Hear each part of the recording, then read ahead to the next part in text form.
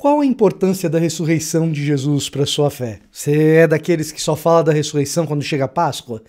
Então, hoje a gente vai falar da ressurreição como elemento central para a fé de Paulo e quem sabe assim se torne também um ponto central, um elemento central para minha teologia, para sua teologia e vamos fazer isso de uma maneira bem biográfica. Então, vem comigo que hoje a gente vai fazer isso.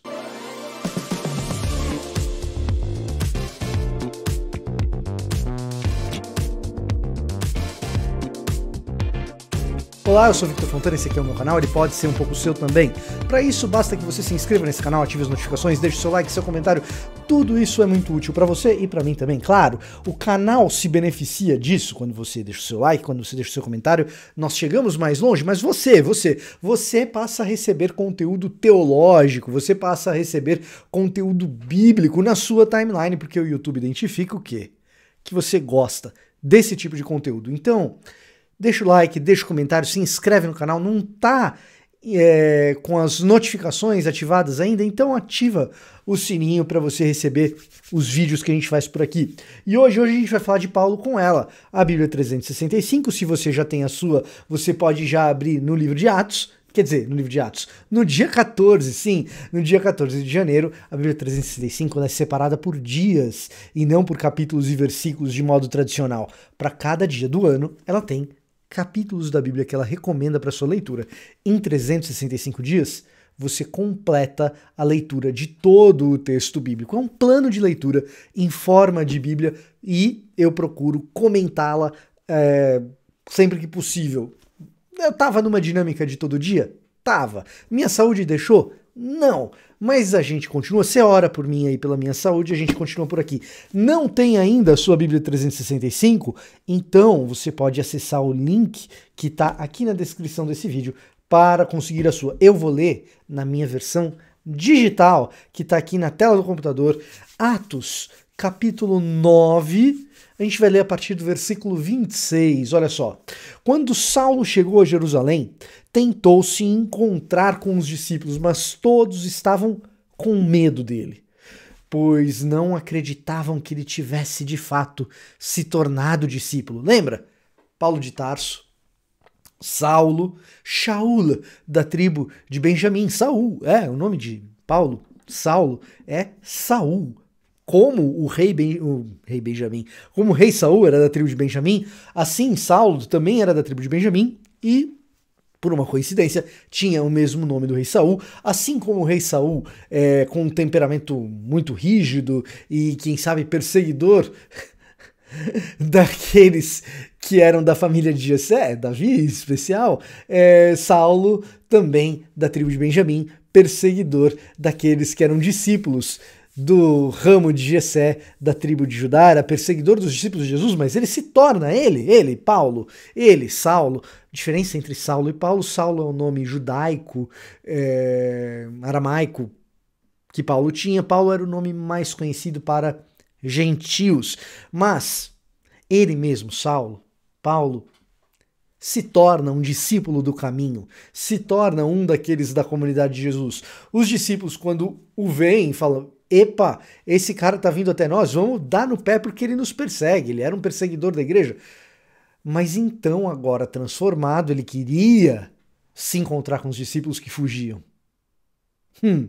Então Barnabé o levou aos apóstolos e lhes contou como Saulo tinha visto o Senhor no caminho para Damasco e como ele lhe havia falado. Contou também que, em Damasco, Saulo havia pregado corajosamente em nome de Jesus. E então o perseguidor se torna um perseguido, se torna um daqueles do caminho.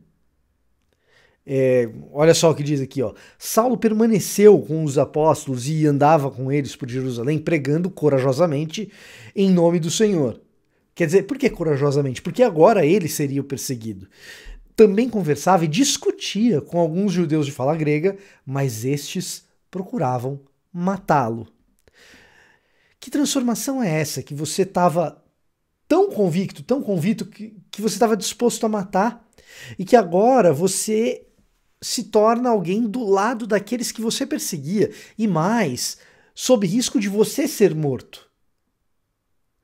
Que transformação é essa? É uma transformação que surge a partir do encontro com Jesus a caminho de Damasco. Agora, esse encontro com Jesus, ele tem um especial significado por causa da ressurreição. Saulo passa a crer porque ele encontra com Jesus no caminho para Damasco ressurreto. É a ressurreição que muda a cabeça de Paulo. E eu vou explicar o porquê. Veja só, a expectativa a respeito do Messias Jesus, o Cristo, era o Messias. Christos, Moshiach, Christos, grego, Moshiach, hebraico, significa ungido. A expectativa a respeito do Messias, a respeito do Moshiach, a respeito do Cristo, a respeito do ungido, é que esse ungido rei traria de volta a Judá e, se possível, a todo Israel, a sua unificação e a sua vitória sobre os povos, e mais a influência do povo judeu, dos descendentes das tribos, sobre todas as nações, como fora prometido ao patriarca, a Abraão, lá em Gênesis capítulo 12, de 1 a 3. Abraão, sai da tua terra, da tua parentela, vai para a terra onde eu vou te mostrar, ali farei de você uma grande nação e a partir dela e da tua descendência serão abençoadas todas as famílias da terra. E portanto, esperava-se que o Messias fosse esse que conduziria os descendentes de Abraão a exercer uma influência sobre todas as famílias da terra. Mais especialmente, quando a gente fala do ungido, existia também a expectativa de que esse ungido, esse Messias, como um rei revolucionário, liderasse as tropas de Israel contra o Império Romano se tornando aquele rei prometido da descendência de Davi, da casa de Jessé, que conduziria Judá de volta a esse posto de protagonismo no mundo. Como a gente vê, por exemplo, no segundo livro de Samuel, no capítulo 7, quando Deus promete a Davi um descendente que reinaria por todos sempre. Então esperava-se no Messias essa figura militarizada que derrotaria Roma e, por meio dessa vitória militar, pudesse influenciar todas as famílias da terra, todos os povos da terra, fazendo com que todos os povos da terra vissem quem é o verdadeiro Deus e tivessem um encontro com esse Deus a partir do seu testemunho, como a gente vê lá em Deuteronômio capítulo 4. Se vocês cumprirem os estatutos e as leis, as outras nações verão e exclamarão: que povo inteligente é esse que tem leis tão justas e um Deus tão próximo? E como então Jesus poderia ser esse rei que derrotaria o Império Romano e que traria a justa lei, fazendo Deus próximo das nações, se esse Jesus tinha sido assassinado precisamente pela ferramenta máxima de vergonha e humilhação do aparato legal do Império Romano. Sim, a cruz, a cruz, a pena capital mais humilhante mais importante, mais espetacular, no sentido negativo que o Império Romano dispunha. Ora, esse líder, esse rei, como poderia ele ser o rei que lideraria Judá, que lideraria Israel diante de Roma? Como ele poderia vencer Roma? Sendo morto e derrotado, precisamente por um instrumento romano de humilhação era impossível. E por isso Paulo olhava para aquele movimento de Jesus e dizia: é loucura atribuir a esse homem o título de ungido, o título de Messias, Jesus o Cristo. Cristo não é sobrenome de Jesus, Cristo era o título que os primeiros cristãos davam a Jesus. E então, um Messias morto de que vale isso é loucura. Exceto exceto se esse homem tivesse vencido o Império Romano no seu maior instrumento de pena capital, e foi o que aconteceu. Jesus ressuscitou.